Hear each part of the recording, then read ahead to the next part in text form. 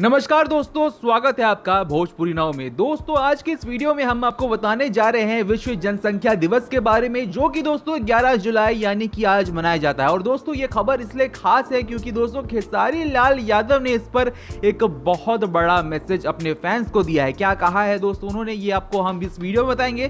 तो इस वीडियो को दोस्तों आप पूरा देखिएगा। उस वीडियो को देखने से पहले दोस्तों, इस वीडियो को आप जल्दी से जल्दी एक लाइक दे दे दोस्तों। और इस वीडियो को पूरा देखने के बाद हमारे चैनल भोजपुरी भोजपुरी नाव को सब्सक्राइब करना ना भूलिएगा। तो दोस्तों, चलते हैं अब खबर के ऊपर। सबसे पहले दोस्तों, आपको बताते हैं कि विश्व जनसंख्या दिवस आखिर क्यों मनाया जाता है? दोस्तों, आपको बता दें कि विश्व जनसंख्या दिवस मनाने की सबसे पहली घोषणा उन्नीस में की गई थी। इस दिन को मनाने का मुख्य उद्देश्य दोस्तों, लोगों को बढ़ती जनसंख्या के प्रति सचेत करना है। अगर जनसंख्या लगातार इस तरह बढ़ते रहेगी तो दोस्तों, दुनिया में बहुत बड़ा संकट आ सकता है।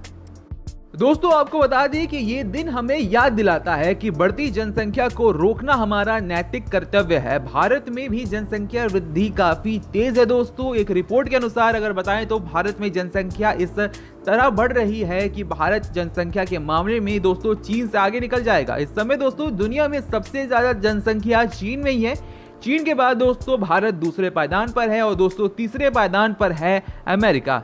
तो दोस्तों, एक तरह से आप देख सकते हैं कि जनसंख्या किसी विस्फोट की तरह है दोस्तों, जो विनाश लेकर आएगा और सब कुछ साथ लेकर जाएगा। और दोस्तों, इसी के ऊपर अब आपको बताते हैं कि खेसारी लाल यादव ने क्या कहा है, क्या मैसेज दिया है? दोस्तों, उन्होंने अपने फैंस को इस जनसंख्या दिवस के मौके पर। दोस्तों, आपको बता दें कि खेसारी लाल यादव ने अपने सोशल मीडिया प्लेटफॉर्म इंस्टाग्राम पर अपने खूबसूरत, अपने प्यारे परिवार की एक तस्वीर को साझा करते हुए शेयर करते हुए दोस्तों, लिखा है, हर साल बढ़ती जनसंख्या के प्रति लोगों को जागरूक करने के लिए विश्व जनसंख्या दिवस मनाते हैं। इसका एक ही उद्देश्य है कि हर व्यक्ति बढ़ती जनसंख्या की ओर ध्यान दे और जनसंख्या को रोकने में अपनी अहम भूमिका निभाए, क्योंकि छोटा परिवार ही सुखी परिवार है। ठीक है? दोस्तों, आपने जाना कि खेसारी लाल यादव ने कितना प्यारा मैसेज लिखा है इस जनसंख्या दिवस पर, जो कि दोस्तों उनके फैंस को काफ़ी फॉलो करना चाहिए, क्योंकि दोस्तों उन्होंने जो बात कही है वो सचमुच दोस्तों गौर करने लायक है। साथ ही दोस्तों उन्होंने इसके साथ अपने परिवार की भी एक तस्वीर शेयर की है, और दोस्तों आप देख सकते हैं कि उनका परिवार कितना छोटा है, कितना प्यारा है। उनके परिवार में उनके दो बच्चे हैं और उनकी बीवी है और वो खुद हैं।